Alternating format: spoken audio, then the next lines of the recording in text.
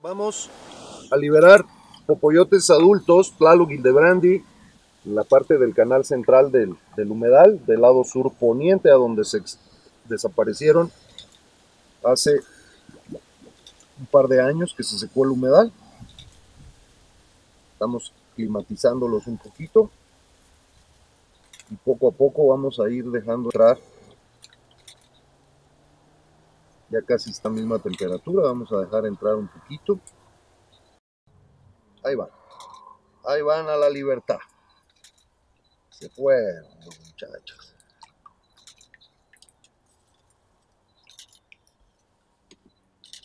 Al infinito y más allá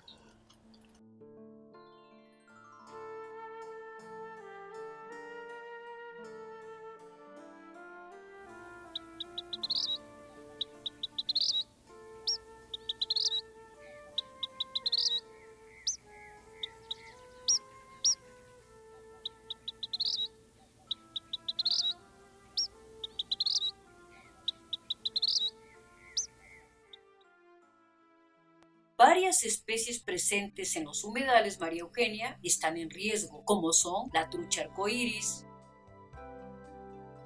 tres especies de ranas, cinco especies de reptiles, entre ellos la serpiente nauyaca de frío. Entre las aves destacan el chipre cabeza plateada y una especie amenazada de tecolote. Entre los mamíferos en riesgo se encuentra un murciélago, dos especies de musarañas, un ratón y la ardilla voladora. El área designada como sitio Ramsar se encuentra ubicada en el municipio de San Cristóbal de las Casas, situado a una altitud de 2.200 metros sobre el nivel del mar. Alberga uno de los ecosistemas más raros y únicos en todo el estado, los humedales de montaña.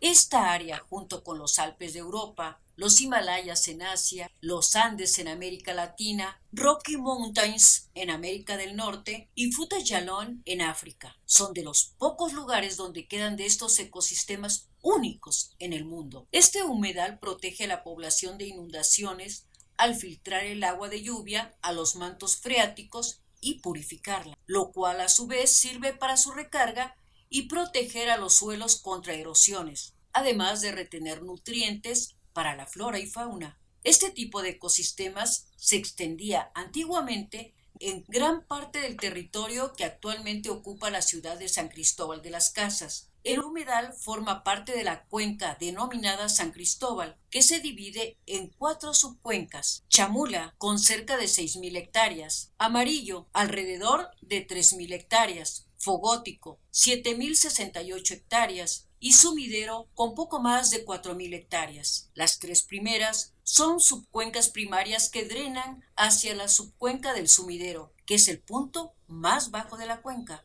Su fragilidad se ha acentuado debido al desarrollo urbano, la deforestación y las prácticas agrícolas que drenan y eutrofizan las aguas.